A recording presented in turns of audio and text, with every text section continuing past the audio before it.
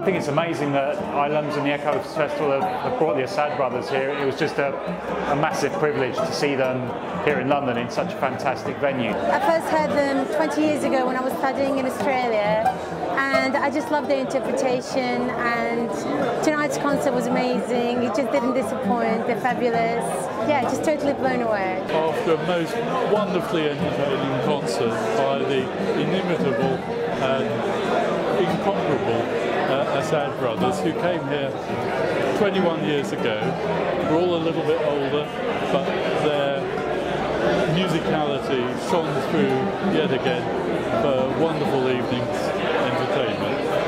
Beautiful. It was lovely to hear Sergio and Odair again play. It's been a long time since I've heard them live and they didn't disappoint. It was absolutely stunning. More of it please. We'd like to see much more.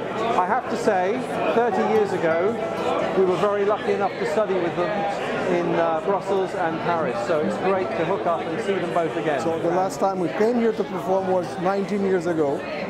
But it's a great pleasure to be back. Especially this opportunity to play for the ILAMS because uh, their thing is actually to defend, you know, the Latin American music. That's what we do. So it has been a great pleasure.